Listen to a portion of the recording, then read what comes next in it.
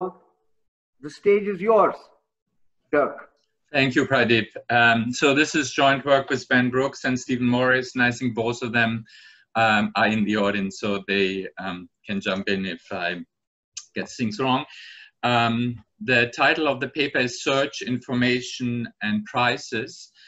And what we're trying to do here is to um, see what we can say about how the distribution of prices are determined uh, in a standard model of price competition for homogeneous goods. Um, now, economic theory suggests that if firms have common knowledge over the number of competing firms, then the predictions are, are very clear. Uh, either we have a monopoly and then with probability one, the monopoly price prevails, or there are more than one competitor, so we are in an oligopoly, and prediction of theory is then that we simply have one price, and that price, at least the winning price, is the one that is equal to cost. Uh, in this sense, um, the model and the prediction is consistent, which is sometimes referred to a law of one price. Um, but um, as Varian and many others have observed, and actually more than 40 years, the law of one price is really not a law at all namely price dispersion is ubiquitous and perhaps even uh, more common uh, today than it has been in earlier times. Um, since the observation that the law of one price is really uh, not such a strong law at all, there's a large literature that has been developed uh, that tries to explain equilibrium price dispersion uh, and variance in the price um, as an equilibrium phenomenon um, theories that are consistent with the failure of one, the law of one price. An essential feature of many of these theories is that there is substantial uncertainty for the firms about the amount of competition, and in particular, uh, that the firms don't have common knowledge about the number of prices uh, that every particular consumer faces. And so this object, the number of prices and the uncertainty about our number of prices will be uh, a central part of our analysis. And we're going to refer to the number of prices that the consumer sees as the price count. Um, we're going to try to uh, develop um, two related issues um, that, that lead us uh, then to the questions that this paper is going to address. Now, this literature, a very successful literature, has developed a lot of possible micro foundations of how there might be uncertainty among competitors about the price count. Models of search are uh, the ones that comes first to mind, but there are models of clearing houses, there's issues of advertising and attention, uh, the issues of uh, price discrimination, particular spatial discrimination, that will all suggest that there is substantial price dispersion and that therefore the law of one price does not hold. The success and the multitude of all of these papers uh, is in some sense also occurs, namely a priori it's difficult to say which one of these many features that have been developed in the theory and these uh, contributions is really the one that's empirically relevant. And often uh, the parameters that identify or that describe the models are difficult to measure. So today we want to take a step back and simply to say, let's just fix um, a given distribution of the price count. Let's take that as a primitive of the model and then think about, given that price count, what are possible distribution of prices, in particular possible distribution of sales prices that will support the revenue and the consumer surplus uh, that might obtain in equilibrium. Okay. The second related issue that comes um, to bear on this question is that nearly all of these models, even though there are many of them, suppose that the firms have no information about the price count beyond what we might want to call the additional uh, prior distribution about the, the possible number of competitors. Okay. Now, in static models or even in related dynamic models, the strong assumption about uh, having no information uh, is perhaps weaker than we might think because in fact it turns out that whether the firms don't know anything or whether they know everything about the price count. So whether they have, uh, in fact, uh, perfect information would not matter for the expected sales price. That is, there's sort of a small revenue equivalence result. Okay. And in fact, we'll show that either with zero information or with complete information, we have a lower bound in terms of what can happen in terms of the revenue that the firms get. But crucially and critically, um, there are a lot of possible outcomes in terms of revenue that can be attained for informational models that are in between zero information and complete information. And today we want to describe completely and extensively what are those possible outcomes are and describe them in terms of an upper bound uh, and then in fact a much simpler lower bound uh, about the uh, revenues and the expected sales price distribution. Okay. So the results um, that I'm going to give to you today are essentially two. One is I'm going to give you a tight upper bound on what the equilibrium sales price distribution can be for any given fixed distribution on the price count. And then following from that, we're going to see uh, that uh, we can also describe of what a little bit of um, a little departure from perfect competition, so a small probability of there being a monopoly uh, does in terms of the revenue. And in fact, what we find is that the marginal revenue, uh, that is the derivative of the revenue as a function of the probability that there's simply one price, so that there's monopoly, is unbounded uh, at um, or near perfect competition. Okay, so um, just a little bit uncertainty can go a long way in terms of raising the revenue uh, of the competitors. Methodologically, um, that we are therefore giving um, complete and robust prediction about what can happen for the prices for a given fixed price count. And for the moment, or today at least, we're not talking about where the price count comes from. A leading application uh, is perhaps you can think of this as sort of suggesting an empirical test uh, to check whether there's collusion. Namely, for a given price count, we can ask, is the observed sales price within the bounds that we're going to derive? And if so, uh, what we're effectively saying is that this price distribution can be rationalized by competitive behavior, though under private information. And if not, then we have a definite proof that at least the models can't explain such a high level of prices. Okay, so the two results that I want to focus on are here. So uh, unless there are immediate questions uh, in terms of the, the purpose of the talk, let me jump ahead uh, and immediately give you a very uh, simple um, bare bones model that we're going to use to derive the results. Okay, so we're going to think about um, a single consumer uh, who has unit demand for homogeneous good and his value is going to be simply B. So there's no uncertainty about his value.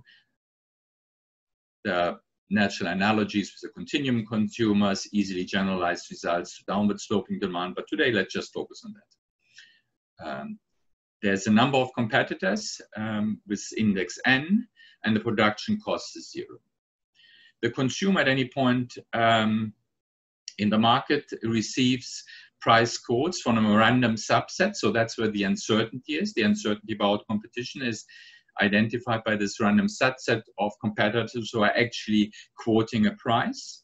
And small k, the price count, is simply the cardinality of the set of firms that make a price offer. And what we're taking as part of the description of the model is that part of the primitive is the price count distribution mu that identifies how many quotes a consumer can get ranging from one that's a monopoly to n which is the largest possible number of quotes. We're going to assume some symmetry so that for any given number each firm is equally likely to be quoted. Okay? So the price count and the price count distribution um, are the new objects that are going to be critical for the analysis and um, that we're going to focus on. Okay. we said there's going to be uncertainty about uh, the level of competition, and we're going to uh, represent that uncertainty for the firms by means of a general information structure that gives each firm a signal and associated with each set of quoted firms, capital K, a joint distribution over those signals. Okay, so the interpretation that we have is simple. If a set of firms is quoted, then each quoted firms receives a signal that will convey some information about the strengths of the competition. And a firm which is outside of that set K, of course, doesn't receive a signal as it's not active. And the conditional probability distribution is then simply uh, for even, even every given set of terms K, uh, some conditional this probability distribution over the signal. Okay, and we're going to want to think about what are predictions that will prevail, that will hold across all possible information structures. Uh, Dirk, do, you don't have any dispersion, dispersion type assumption on mu? Or mu can be arbitrary? Mu can be arbitrary. Um, you know, it should be non-trivial. That is, um, it might have some probability on one and some probability on elements larger than one. Okay, hmm. good.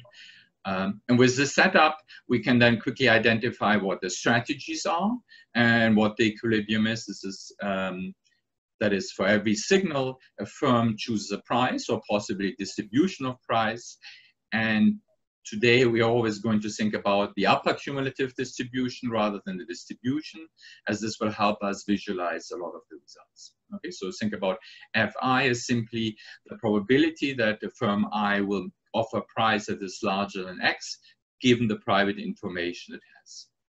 And with this, we can then describe who is the winner, namely it's one of the firms that is quoted and that charges the lowest price, and we can identify the expected revenue. Now this long formula looks complicated, but what it simply does, it tracks over all possible um, sets of quoting firms or possible private information, who is the winning bidder, that is who is the winning firm that makes the lowest price and identifies the revenue. And an equilibrium is simply a Bayes-Nash equilibrium um, that says that given the strategies of the other firms, I'm going to choose um, a best response. Yes?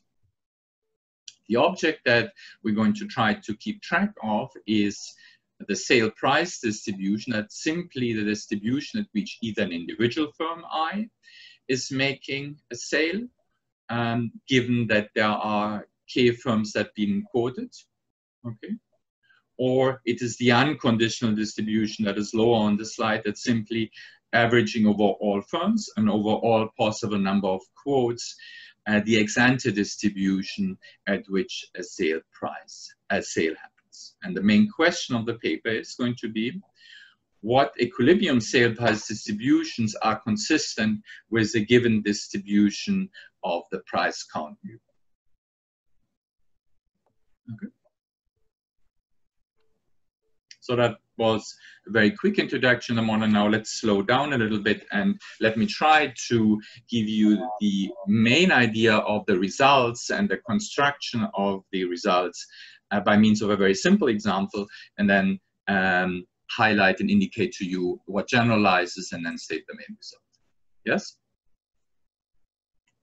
Okay, so we're going to start out uh, with the simplest possible example, which is simply going to be the case of there being at most two firms.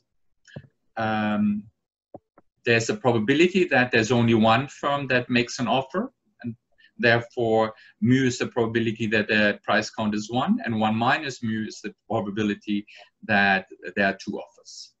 We're going to normalize the value simply to one, so um, keep that in mind. And now I'm going to show uh, two or three intermediate information structure to get you used to uh, the concepts of sales distribution and see what information does to the distribution of prices to then come eventually to the information structure that maximizes the sales price uh, in the sense of first order stochastic dominance. Okay. So can I just interrupt for a second since Pradeep may have stepped away? Um, there's at least one question in the Q&A that I wonder if either Stephen or Ben wants to look at and sort of decide what to do with either address it there or bring it to your attention at some point. Uh, so I'll delegate it to them if that's okay. Wonderful. Thank you, Naveen. Okay, so uh, here's a simple example. Uh, let's start out uh, with complete information. That is, um, the firms indeed know whether they find themselves in a competitive situation or in a monopoly situation. Uh, if it's a monopoly, then they will charge the maximum price at one. If they find themselves in a competitive situation, then price is equal to marginal cost, which equal to zero what we find is the expected price is simply going to be the probability that there's a monopoly. And so the expected price, the revenue that the firms are accruing, is simply growing linearly in the probability of there being a single price count or monopoly. Okay.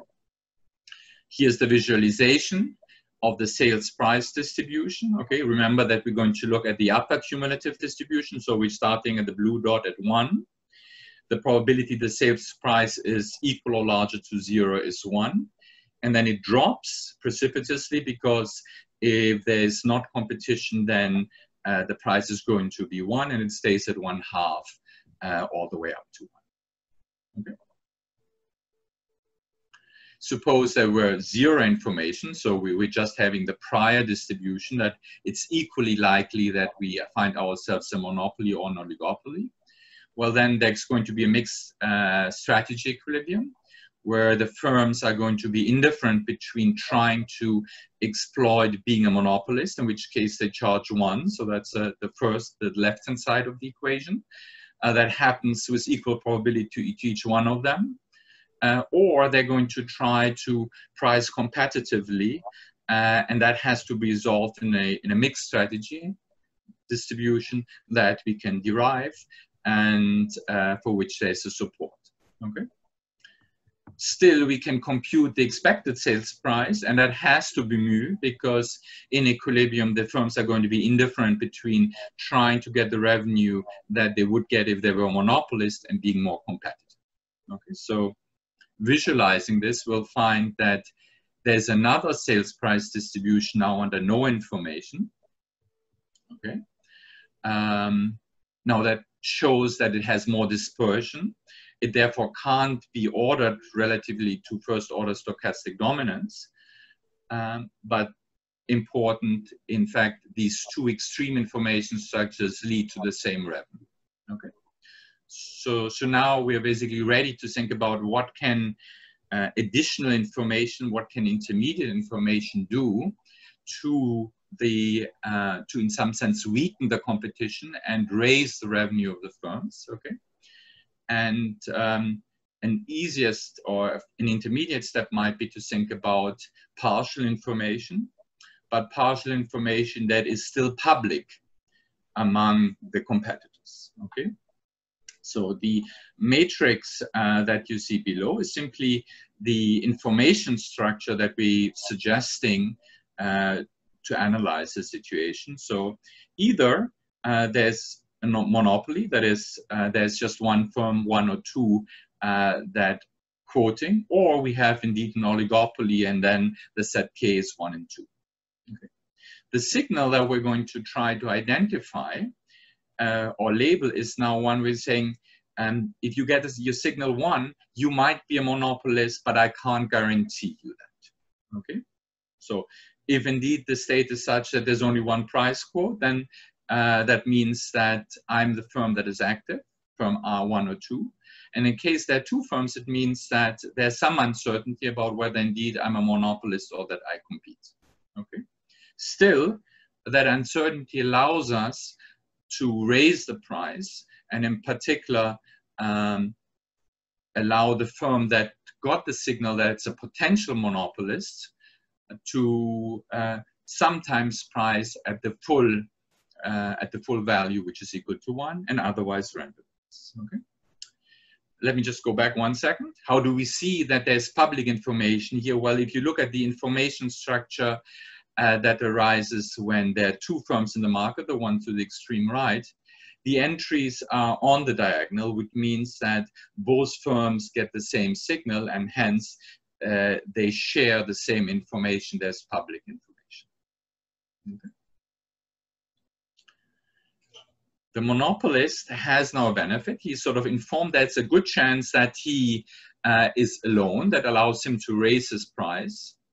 And in consequence, the known competitor is also becoming less aggressive because he thinks there's a good chance that he's actually facing somebody who thinks that um, they are a monopolist. In turn, uh, we form an equilibrium where the exacted sales price is higher, namely it's um, at least at the margin twice as high as it was before uh, under zero or no information, under zero or complete information. Okay, so if you think about the marginal revenue, that now increases twice as fast in the probability of mu, the probability that there's a monopoly. Okay. The final example, um, to which I come now, but I'm giving you first the distribution of prices um, under this public information section. Now you can see that the price distribution indeed stochastically dominates, okay, at least uh, the no information price. Okay. Okay. Now we're going to push this even higher and we're going to think about what are the prices that can be supported by some private information.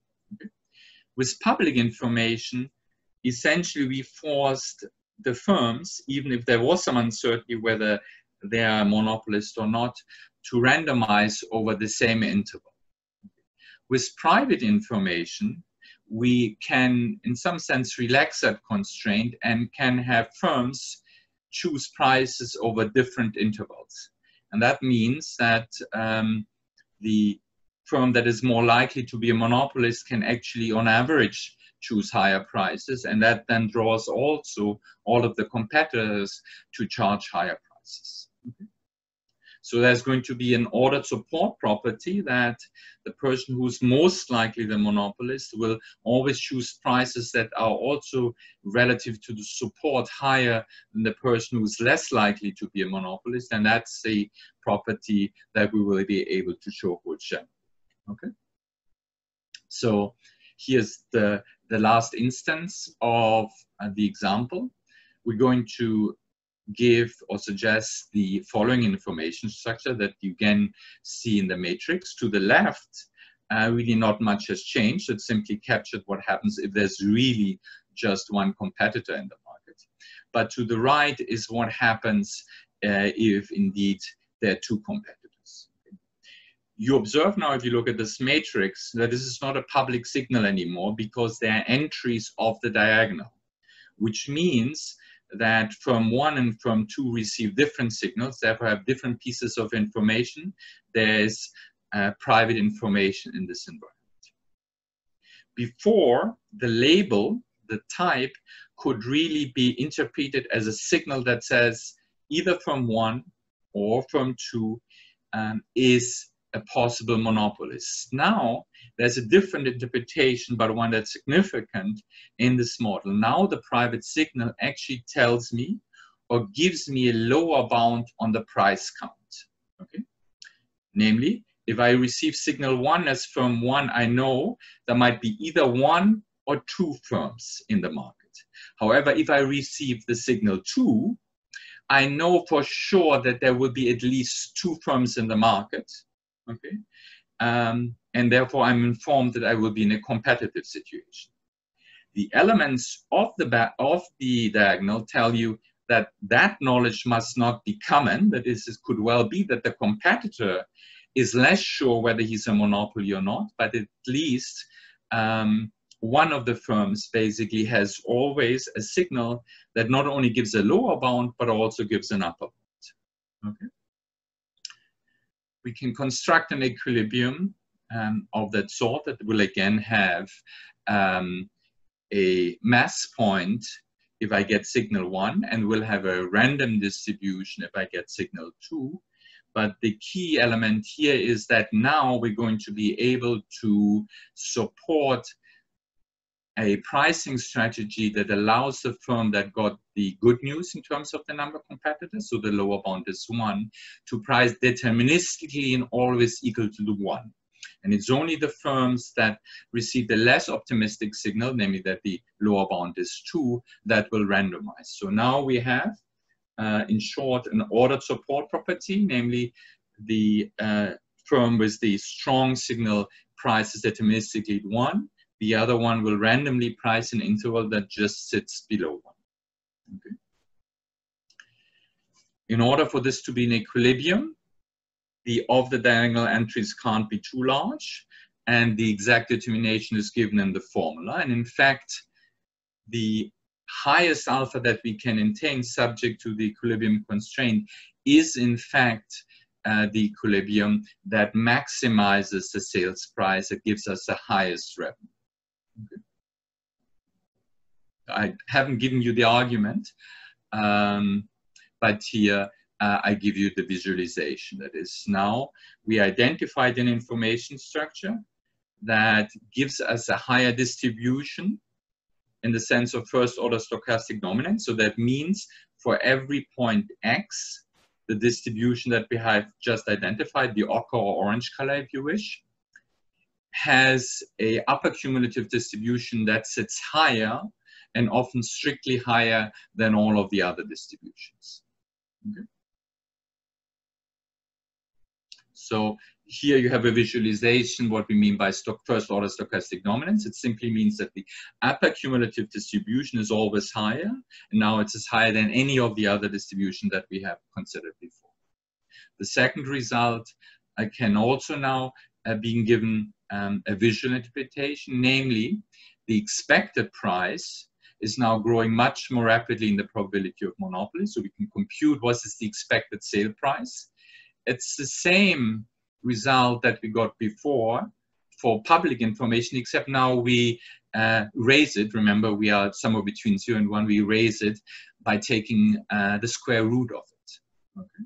Significantly now, we're going to think about taking the derivative at mu equal to zero. We see that actually the revenue uh, increases very fast. That is, has infinite derivative at zero uh, that is just a little bit of monopoly, just a small probability of monopoly, is in fact allowing us to create equilibria that look very different from uh, the competitive situation. Even on average, we have competition.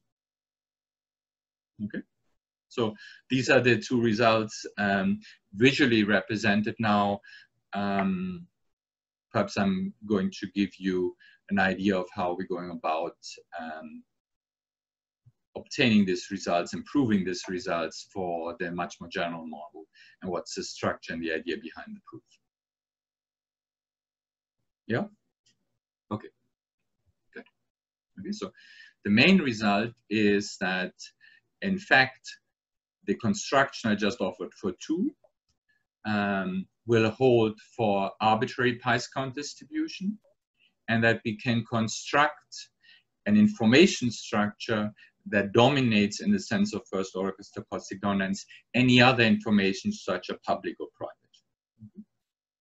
The key features of the construction that generalizes is that um, when the price count is one, we're going to maintain even under uncertainty uh, the possibility that the monopoly price is charged. In fact, it's going to be charged uh, deterministically the signals will have the interpretation that they will represent information about what the lower bound of the price count is.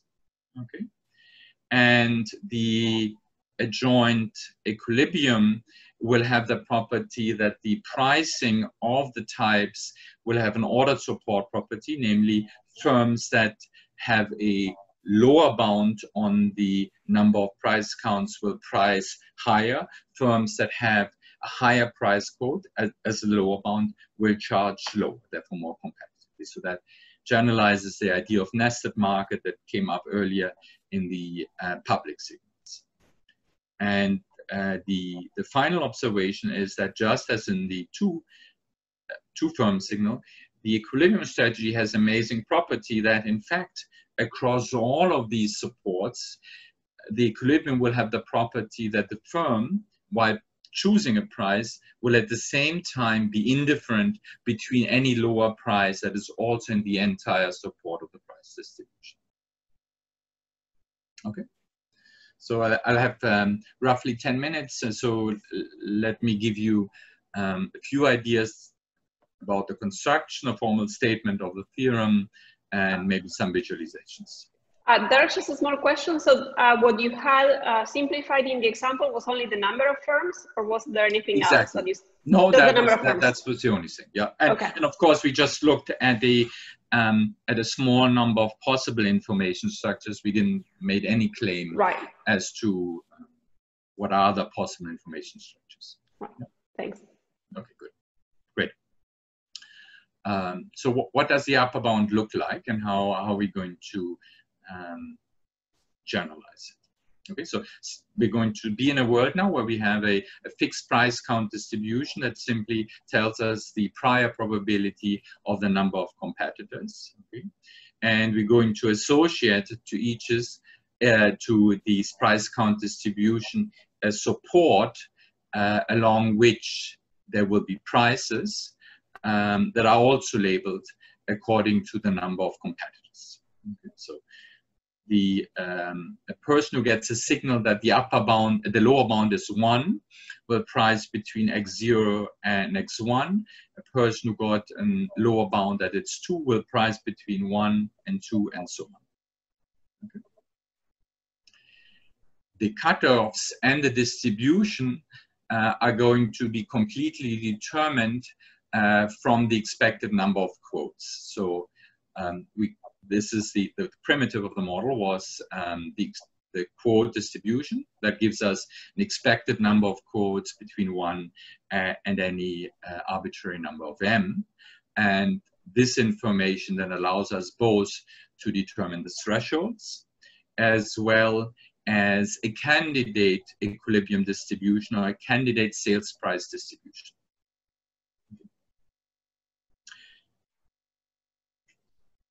Okay, so um, what, what you notice, what we're describing here is just the sales price distribution in the aggregate. Uh, that is, you don't see an index I. Um, it is just an aggregate distribution of what the revenue of the firms will be, or at least the candidate. Okay. So, uh, uh, uh, sorry, uh, Dirk, can you state, have you stated formally the assumptions on mu and on the signaling? Um, What are the assumptions for the theorem? uh, uh, you know, uh, we have a finite support here. So, so for any arbitrary finite support, uh, we're going to um, compute an upper bound. And uh, in terms of the information structure, we just have weak measurability conditions. So there, there are, um, you know, almost no uh, further assumptions necessary. Okay, Okay, so um, now we're ready. Um, we, we basically have given uh, a candidate sales price distribution that's S upper bar that I constructed you just from the primitives of the model. Okay, and the claim is that once we have given any fixed price count distribution mu, then any information structure T, so subject to the weak measurability conditions, okay, um, and any equilibrium that's associated with this information structure and is consistent that it projects down to the same price count distribution.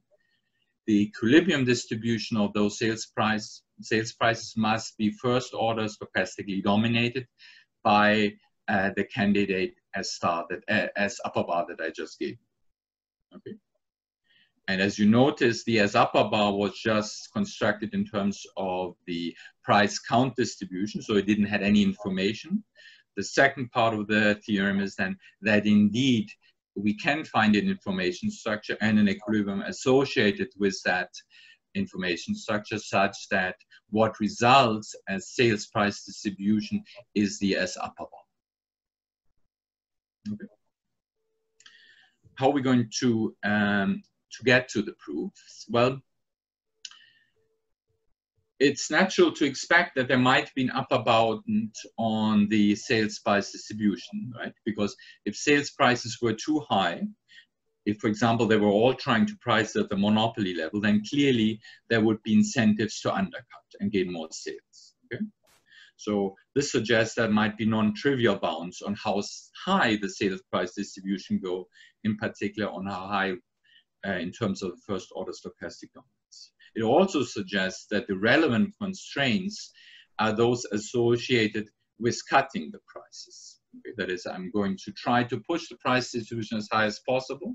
And then what should happen is that I'm trying to do that up to the point where the downward deviations are going to start binding.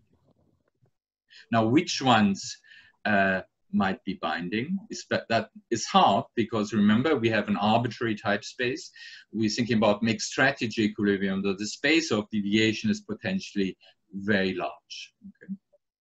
We're going to look, we're going to in some sense relax the constraints and going to look at just a small class of deviations, uh, those that we call uniform downward deviations.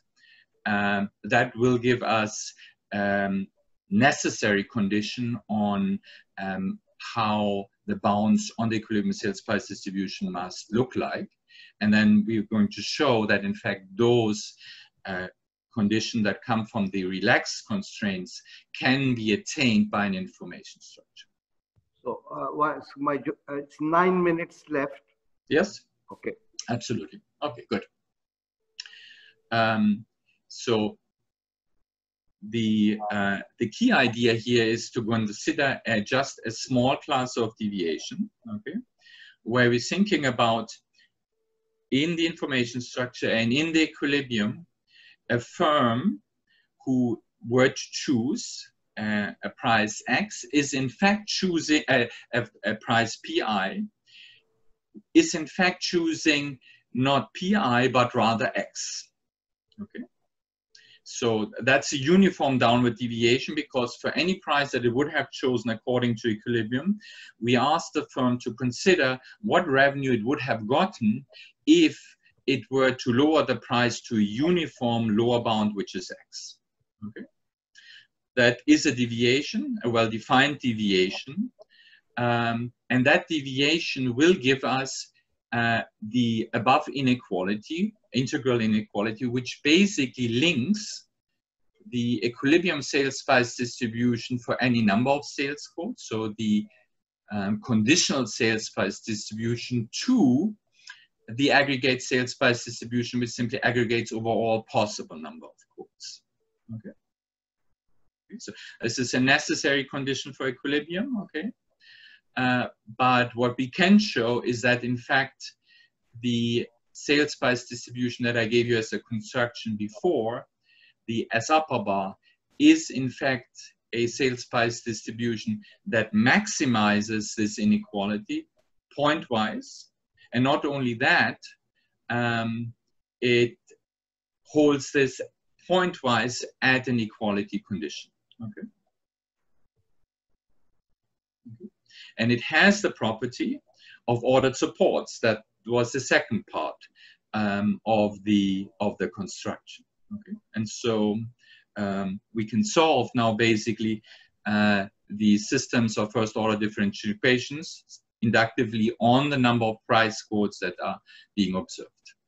Let me give you a visualization to see how this works. Okay, so we're thinking about a uniform price count between one and five the candidate equilibrium sales price distribution S upper bar on the in the in terms of conditional terms um, is being displayed uh, here, right? So what you see is that conditional on the signal that is the lower bound on the price distribution, each one of those have a different support.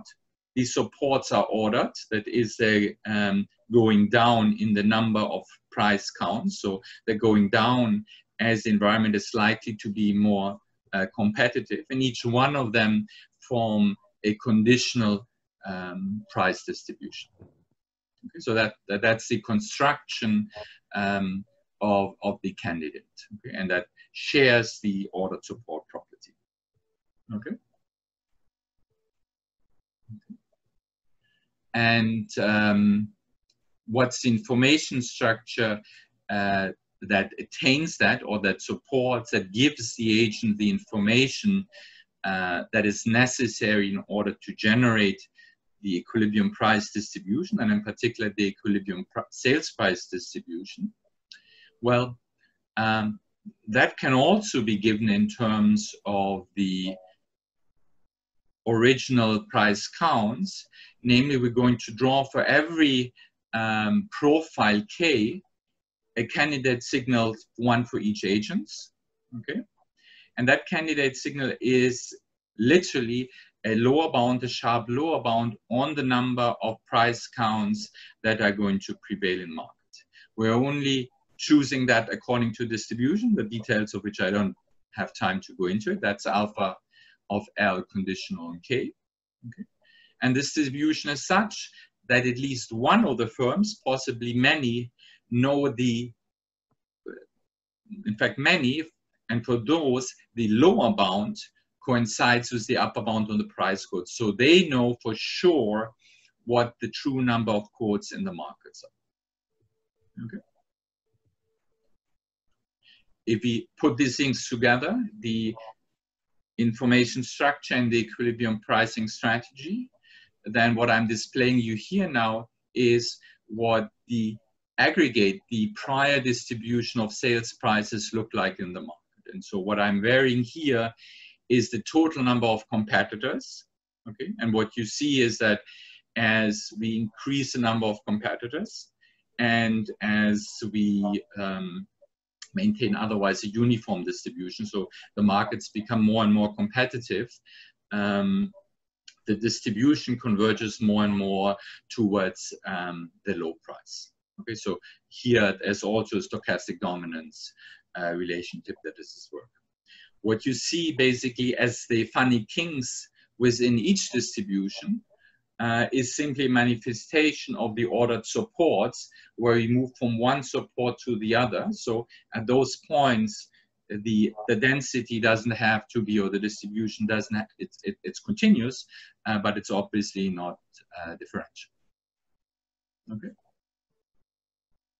I think with this, I, I should probably end. Um, I presented you two results today, one on the equilibrium price distribution and one on the revenue impact of monopoly. Okay, The paper actually has uh, many more additional results. In particular, we are uh, very much interested to see to what extent our results not only hold for static models, uh, say of search, but for sequential models of search where uh, the firms get the information sequentially. In fact, our information structure sort of naturally supports such a sequential um, search. Okay, but but but let me stop here. Okay, uh, uh, we have time for questions. I don't see any in Q and A, but are there questions that others want to ask? Mm, well, I've, got one. So Dirk, um, I, so I guess the main result basically says that, you know, so you characterize a distribution such that any other distribution of sale prices must be first order stochastically dominated by that distribution. Yeah. Um, do you know that sort of any distribution that is first order stochastically dominated can be obtained with some information structure? Um, not any, right? So let me just go back uh, perhaps to um, to this picture. Okay, so so let me try to give you an answer with by means of this picture. Um, this picture is basically giving you an upper bound that is the maximum distribution. That's the the orange distribution. Okay.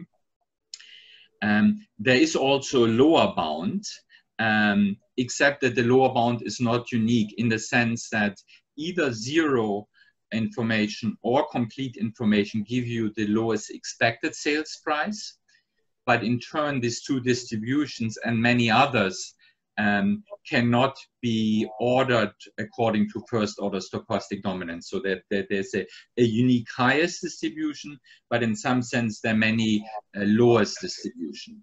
Uh, now, it's relatively easy to see that essentially any distribution that can obtain from a convex distribution between the maximum and any smallest distribution you pick can also uh, arise as an equilibrium because you could simply get that from convex combinations of the two underlying information structures. I think and that's a complete characterization of all the of all the distributions, or is there? It's not. I hesitate to, to, say complete because, uh, you know, I, I mentioned that the lower bound there is not a unique uh, distribution, so there are many. I'm not sure that I, for example, could give you at least I can't give you right now a complete and exhaustive description of uh, all the distributions that um, could attain the lowest expected sales price. Okay, the two I that you see are examples, but I don't think they're exhaustive.